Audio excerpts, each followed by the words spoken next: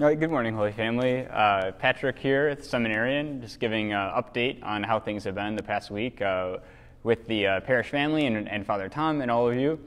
Um, so this week has been uh, it's been really active, uh, both in, in, the parish and actually with the diocese. So I had the uh, blessing of getting to serve the ordination mass this past Thursday and Friday for the two new priests of Green Bay uh, Father Ben Johnson and Father Kevin Ripley. So it was a beautiful blessing to get to uh, be there and, and celebrate uh, the ordinations with them. So thanks for all your prayers for seminarians, especially in this year of St. Joseph. Keep praying for uh, men, hopefully, uh, even from our parish, to come forward uh, to start um, training, formation study, to think and pray about being a priest of Jesus Christ in our diocese.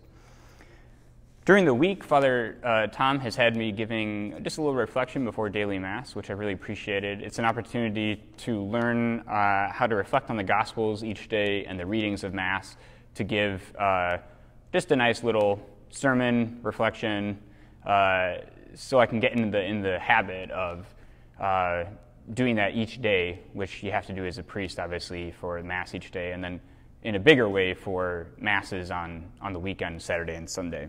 So I've really appreciated him kind of letting me give those reflections and for everyone for listening to them and uh, giving me some good feedback. So thank you. Uh, it was beautiful to get to be at the First Communion uh, on Sunday, to get to see the first crop of, of First Communicants.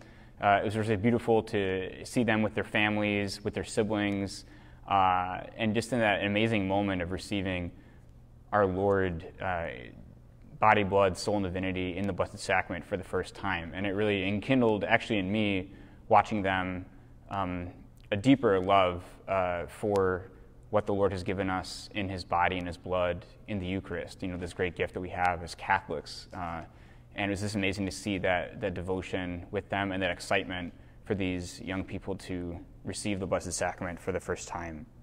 And so, of course, we'll keep up our prayers for them to, to grow in holiness. Um, and grace.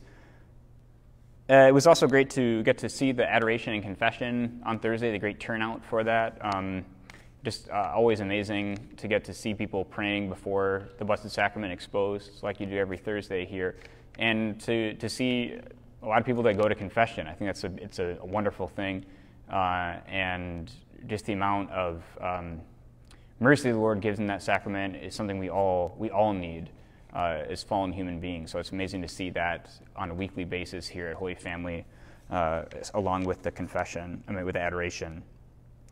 Uh, I also appreciate everyone who came out for the theology class. Uh, looking forward to it, uh, continuing with you uh, these next six weeks remaining. And I just I think it's fun that so many people are interested in doing some theology.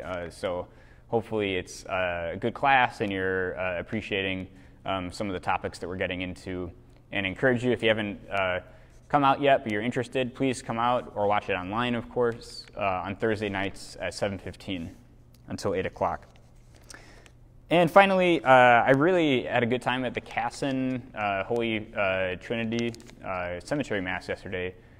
Just really neat to see the memory of the Kasson church still so alive through, through the cemetery and all those who are praying there for the beloved dead and getting to be with their, uh, their family in that way. Uh, even though the church, I guess, hasn't stood since 1960, was my understanding, but I could still see the spot where the church had been, where someone had left a sign up uh, in one of the fields there, as well as then just the beautiful setting for the, the cemetery that's still active there and uh, the great devotion and love that the, that the parish family has for that spot. So these are just some of the highlights from the week. I look forward to the coming weeks and uh, look forward to, to seeing you uh, around the parish. God bless you and have a good day.